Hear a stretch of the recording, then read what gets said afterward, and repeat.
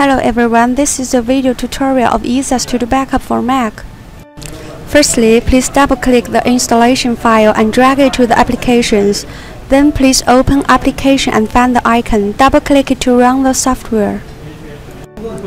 The trial version can be fully functioned for 30 days. If you have purchased the license, you are able to activate it here. The first function is backup, which can create backup tasks on selected files, file folder, and apps data. You should create new project in the first place, and then you are able to select the destination to save the backups. There are some other settings you could set.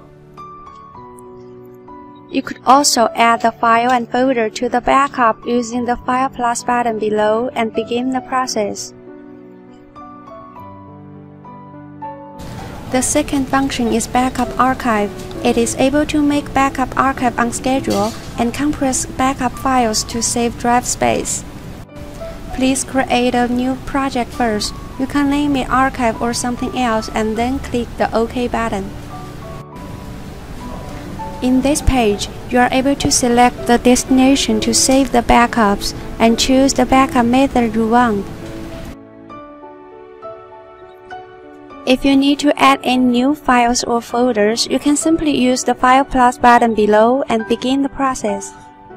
The third function is disk clone, which is used to clone your source disk along with all saved data to the target drive. Firstly, please click this button to add a new project. Setting the clone on schedule and automatically start the clone are available in this page. Once you are done, you can click OK to save the clone task.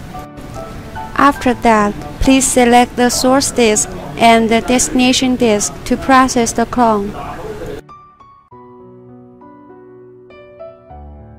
The last function is about file sync. It allows you to select files or files folders to sync and choose one-way or bidirectional sync model. You should create a new project and name it first. And some other small settings are available in this page. You could take a look to set it and then click the OK to save it. Afterwards, please select the source to sync and choose the destination. This is how our Todo backup for Mac works. If you still have any other questions after watching this video tutorial, you may just contact us by sending us an email to support at easeus.com. Thank you for watching this video.